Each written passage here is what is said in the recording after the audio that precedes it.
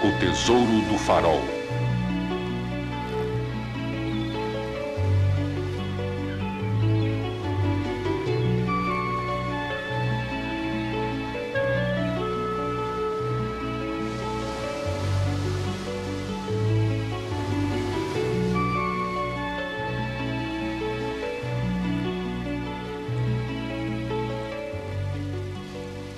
O verão passado foi um verão que jamais esquecerei.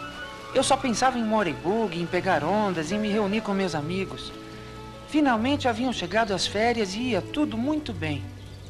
Isto é, até mamãe dizer: David, o seu primo Jonathan vai passar o verão conosco. O verão inteiro.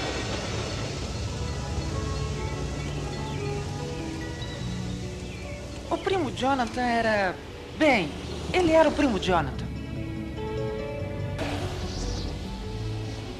Ei, eu tinha planos, eu tinha ideias próprias e não ia deixar um garoto da cidade arruinar meu verão. Uma distribuição Todo mundo Transvídeo. na cidade estava se preparando para o grande centenário. Ia ser fantástico. Mas agora não.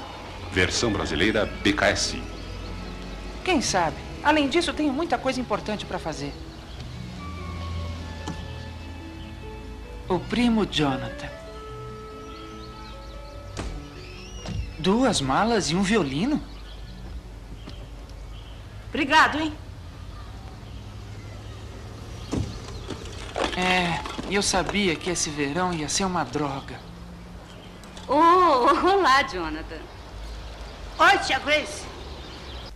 Você viu que motorista de táxi esquisito? Viu os olhos dele? Ele parecia um vampiro. Puxa, que cidadezinha pequena. Será que a gente tem alguma coisa pra fazer por aqui? Puxa, tô com uma fome, eu comeria um boi. Quanto vamos comer? Vamos empilhar suas coisas naquele canto. Onde é que eu vou dormir?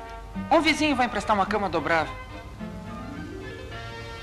Hum, seu quarto é muito legal. Onde arranjou o navio? Você mesmo que fez? Que terrível pecado eu teria cometido para merecer isto? Uau, isso é de um navio naufragado. Como é que você sabe? Trouxe esses Começaram as brincadeiras.